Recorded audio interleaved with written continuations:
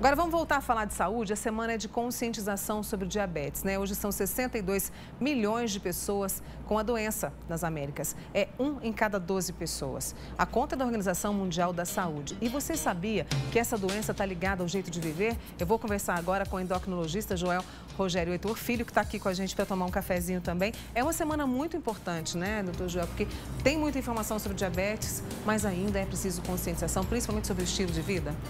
Exatamente. É, é, diabetes doença é uma, hoje é já uma epidemia mundial. Né? Uhum. É uma doença que está aumentando no mundo, muito no mundo inteiro.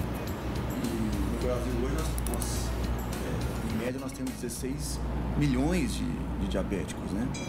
E o, o, o, mais interessante disso, Mônica, ou é, o mais agravante disso é que metade dessas pessoas, em torno de 8 milhões de pessoas, são diabéticos e não sabem que têm a doença porque a doença é uma doença silenciosa. Então, é uma doença que na sua fase inicial, quando a glicemia aumenta um pouco, em torno de 150 até 200, não dá nenhum tipo de sintoma. Uhum. Então, se a pessoa não vai ao médico, não faz seus exames de rotina, principalmente após os 40 anos de idade, é, a doença começa a ter suas consequências ao longo do tempo. Uhum. Hoje, diabético mal controlado é a primeira causa de cegueira no mundo inteiro. Nossa. De hemodiálise também. Então, assim, é uma doença muito insidiosa, uhum. muito grave uhum. e silenciosa. E aí é preciso, é, porque eu vi que a, a campanha principalmente é, foca nessa questão do estilo de vida, quer dizer, alimentação saudável, exercício e, claro, como o senhor disse, procurar o especialista quando há Exatamente. Quando eu digo diabético, eu estou falando, falando de diabético mais comum, 90% dos casos são aquele diabetes tipo 2 que está relacionado com excesso de peso, sedentarismo e alimentação inadequada. Uhum. Né? É, esse, esse, tipo de diabetes, com mudança de estilo de vida, com, com redução é, da gordura visceral, daquela barriguinha que a gente é, encontra tanto em homem quanto em, em mulheres, essa redução da gordura visceral, essa mudança de estilo de vida, com exercícios físicos regulares, alimentação é, é, super é, é em dia, né? Uhum. É, é, equilibrada em proteína, hidrato de carbono e fibras, então, essa mudança de estilo de vida é que você evita de ficar diabético no futuro. Hoje a gente percebe que os jovens, né, eles estão um bocado aí acima do peso, não é, doutor Joel? Essa incidência da diabetes também é alta em jovens ali?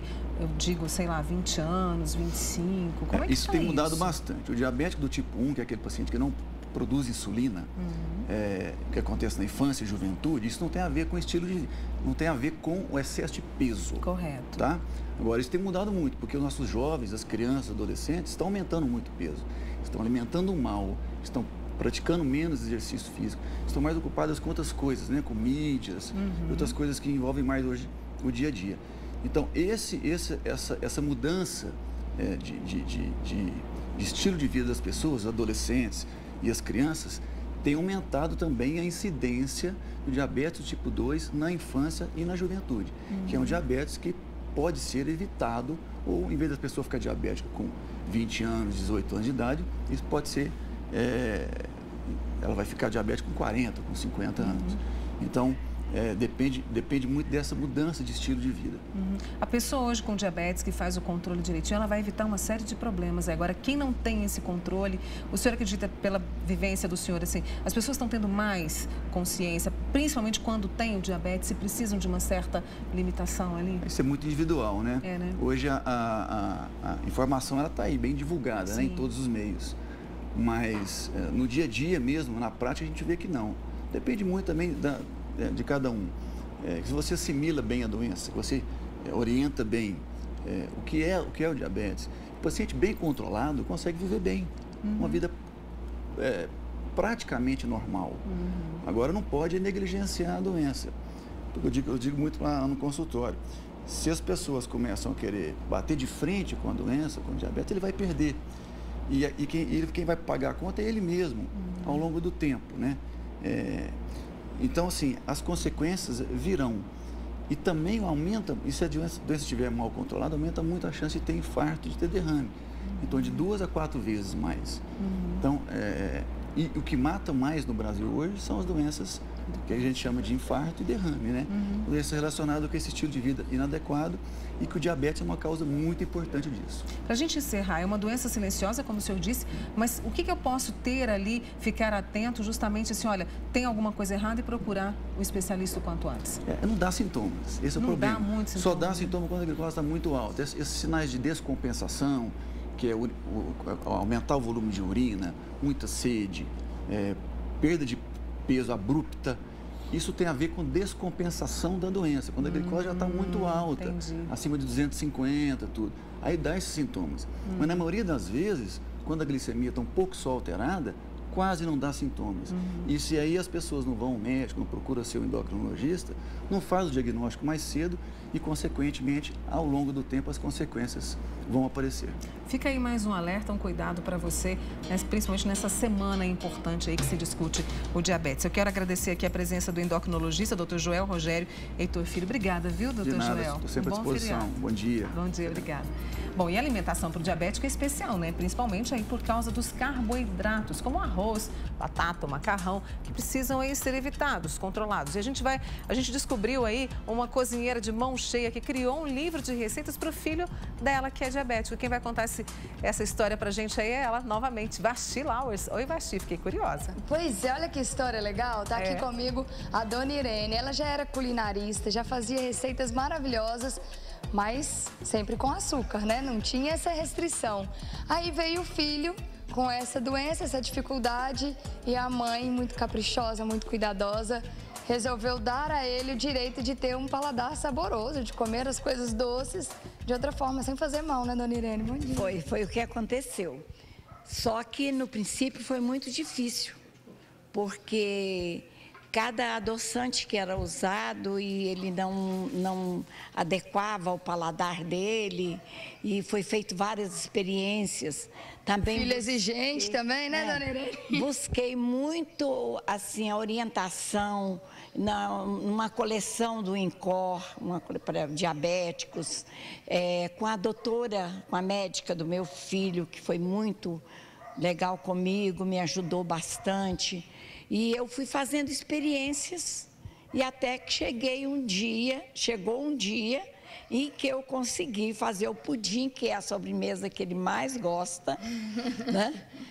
Depois de ter feito quatro, cinco pudins que ele não comeu, então eu cheguei então a a receita. Foi aí que veio a ideia de se fazer um livro.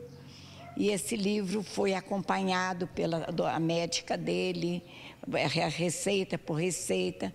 Esse livro tem é, a contagem de carboidrato, a nutricionista também muito amiga fez contagem de carboidrato, de calorias. Então tem as receitas em que o diabético fica, fica sabendo quanto, qual a quantidade que ele pode consumir. E, e se tem uma, os ingredientes frutose e sucralose, porque depende do médico o diabético tem que perguntar para o médico se ele pode usar ou não. Ou não.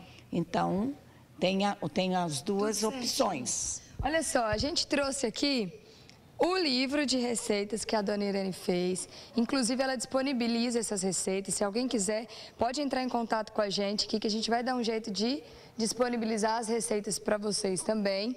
E aí, a gente trouxe o famoso pudim, então, que foi o que agradou o paladar do filho. E a receita desse pudim, a dona Irene vai, vai explicar aqui pra gente como é que é feito esse pudim. Então a gente separou aqui, colocou os ingredientes para você. A dona Irene faz em dois processos, né? É. Primeiro ela prepara o leite condensado, que vai ser a base desse pudim. É, o leite condensado é preparado com água fervente, leite em pó desnatado, adoçantes que é multiadoçante misturado a frutose ou sucralose e leva ao fogo e dá um ponto de um doce de leite. Vai ficar aquela. É, dá um ponto de um doce de leite, dá, um, dá uma base para todas as sobremesas.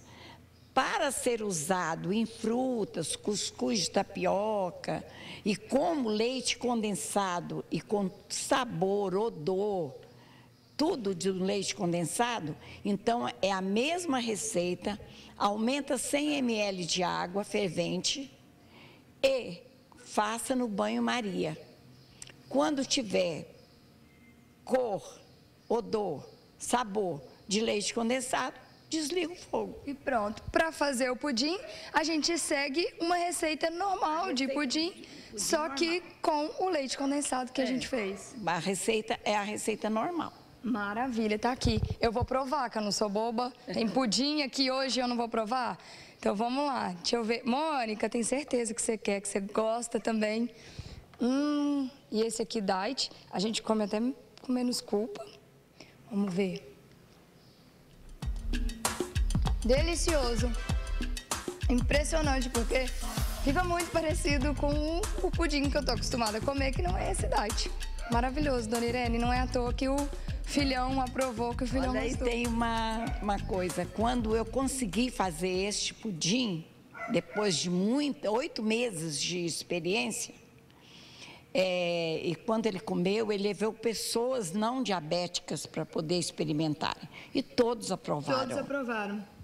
Mônica, eu vou levar para você, tá? Para você aprovar também. Tá legal. Eu tô aqui, olha, com o filho da dona Irene, né? O Eli Martins, que está comigo aqui agora no estúdio, tá me contando que é a sua sobremesa preferida, né, Eli? Preferida. E aí foi muita tentativa até chegar a esse ponto para você poder saborear um, o pudim. É porque o pudim, ele tem duas coisas. Ele tem o, o sabor e tem a textura. É.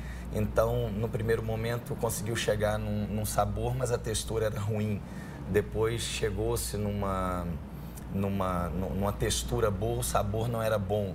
E até que conseguiu chegar nesse, nesse pudim de hoje, que é sabor e textura, o casamento E perfeito. é cuidado e amor de mãe ali Sim, também, né, sim. Eli? O Eli estava me contando, ele descobriu que tinha o diabetes, né, que tem o diabetes há 16 anos. De lá 16 para cá, como é que é essa convivência?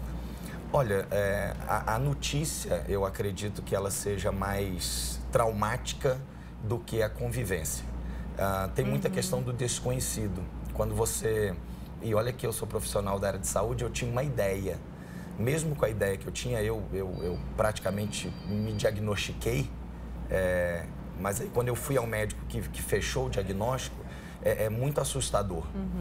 Mas à medida que você aprende, o, o grande problema que eu vejo é que as pessoas não, não querem estudar a doença, não querem aprender, acabam se rebelando com a doença. Eu, eu acompanho algumas pessoas que se rebelam contra a doença. Eu tive uma prima, eh, prima em primeiro grau, que morreu com um ano e meio. Ela foi a óbito Nossa. com um ano e meio porque se rebelou contra a doença. Falou, ah, Foi o que o doutor Joel falou, bateu de frente. bateu de frente. Ela queria viver como se não fosse diabética.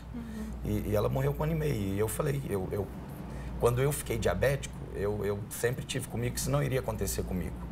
E eu tenho muitas notícias de pessoas que cuidaram que morreram com idade avançada, 80 e tantos anos, 90 anos de idade. Não se perde o sabor da vida. Não, não perde. É, você tem que tomar cuidados diferentes, como qualquer outra doença. É, às vezes tem pessoas que descobriram uma, uma alergia a um determinado produto. Não adianta ele brigar contra isso, entendeu? É, teoricamente, eu sou alérgico a açúcar. Açúcar, né?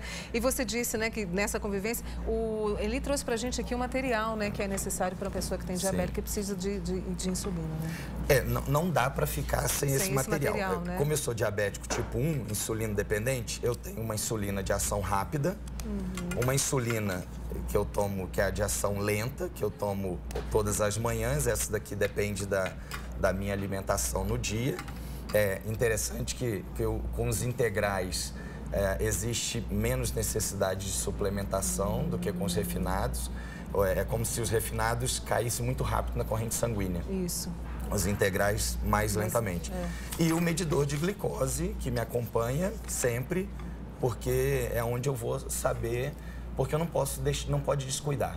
Eu queria um recado rápido seu para quem tem diabetes, está tentando, está brigando ainda com a doença. Bem rapidinho, favor. Olha, a primeira coisa que eu diria é não se assuste, tenha calma é, e não, é, não, não, não fique com vergonha de perguntar, de estudar, de, de, de ouvir o que o médico tem a dizer, porque se você cuidar, a, a vida é normal, eu jogo bola, eu viajo, Sai eu faço caminhada, saio com os amigos, eu como, é, evito açúcar, sem dúvida nenhuma, mas isso aí não é, não é assim um e tá fator assim, olha, terrível. bem aqui com a gente no Manhã Total para te dar esse recado, para deixar esse recado aqui, né, bacana de cuidado. Obrigada, Eli Martins, dentista, e que está com a gente aqui hoje no Manhã Total. Obrigada pela sua participação. Eu que agradeço. E um abraço na dona Irene, tá bom? Obrigado.